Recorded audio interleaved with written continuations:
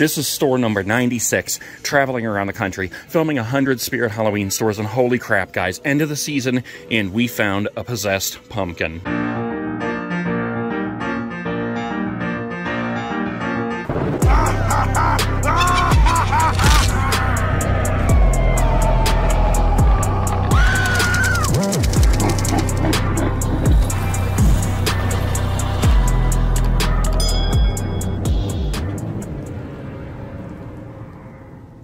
All right, guys, today we are in Brunswick, Ohio. And what in all that is spooky is going on with that tiny little sign up there? That has got to be the tiniest Spirit Halloween sign I've ever seen. I hope that doesn't mean they have a very, very, very, very, very tiny selection in this store, but we're going to find out because we are going in right now Brunswick, Ohio, to see what they have in the spirit Halloween. Oh, there are automatic doors. All right, right in the door, they are sweeping the floors, and everybody else is sweeping them of all their animatronics. I do see the bubble tubes of death in there. They are working perfectly. I haven't spent a whole lot of time looking at the electrical tubes of death or the random hanging skulls of death. But while she's working with the sweeper of death, let's come over here and check out Monty. I can't believe I'm in another store today that actually still has Monty. Hello, Monty. Come on now, I saw your eyes light up. Don't trick me. Don't trick me, Monty. Come on. Don't do this to me. We're supposed to be friends. There he goes. After I said that, he immediately started working. See, Monty, I knew we were good buddies. And look at this, guys. I just noticed right over here, Brunswick still has a good selection of Halloween masks where they are sold out everywhere else. All the other stores only have this mask left. But look at this.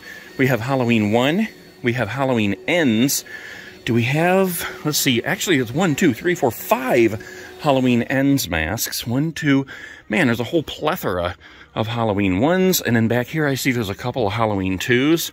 Pretty cool. I like the Halloween Ends mask, but personally, I haven't seen the movie yet and I haven't heard good things about it, so I'm going to hold off on buying that one. And I do want the Halloween 1 mask, but I'm going to go online and find one that's really, really good. The thing I don't like about this one is the hair. Look at that. I just don't like that hair. Some people do, but I don't. Like, to me, the hair is supposed to be more like it is on the Halloween Ends mask, where there's just less of it, it's a little bit more smoothed down, and this just seems a little bit too frizzy. They do still have a good selection of Nightmare on Elm Street stuff, but I don't see the Nightmare 4 mask that I like so much. We have all three different kinds of the gloves, including this one down here with the metal blades.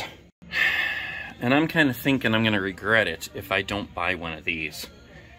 I don't know. I'll think about it. All right, let's come on over here, guys, and see what else they have. Oh, we do have a Shorty. We almost missed this guy. Come on now, Shorty. Come on. Here we go. They are probably so tired of hearing these things at this point in the season, but that's what it's all about.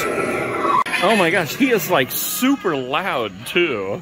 Oh my gosh, look at this random hanging skull. It has a glitter bobble headband on with little pumpkins, and one of them has one eye! And I can't walk away without pointing out the spooky brick! I do see we have an enormous sandworm groundbreaker back here. That's cool. Whoa, holy crap, they actually have three more over here. Oh look, they actually have this back part set up too.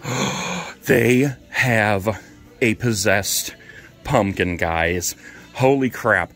I thought that I would not see another possessed pumpkin in a store this season. This is store number 96, traveling around the country, filming 100 Spirit Halloween stores, and holy crap, guys, end of the season, and we found a possessed pumpkin.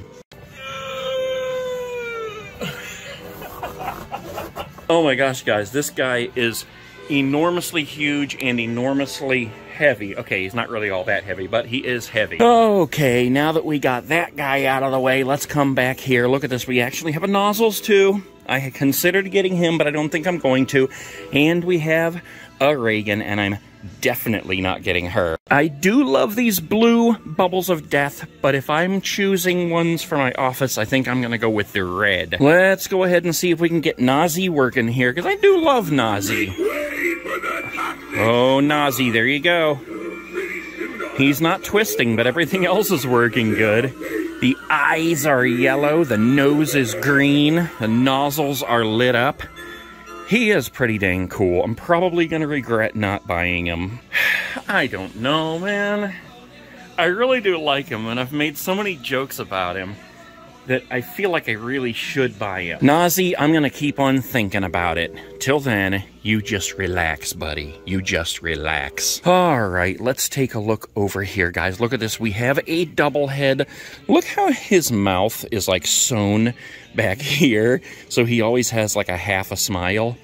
And on this side, he has the other half of a smile. We have a few zombie babies here. We have the crawler, we have the spider biter, and the cockroach eater. And amazingly, she has both eyes in this store. We got these guys who definitely need some Trident, some Aquafresh, some Scope, something to clean up that mouth. And we have some creepy dolls here too, guys. Look at this. We have three pumpkin nesters, a vintage wolfman, and a Rosalie. And I swear I saw more of these in another section of the store. Let's come over here a minute. What the heck, man? I swear I saw a bunch of them over here somewhere, but I've been in so many stores, I just don't know. Uh, okay, here's the tiny terror side steppers. We do have Lydia, Spiky, and Pennywise there, and a Slim in the middle on the top. Wait a minute, what in the world is this? It looks like a book. It says It Chapter 2.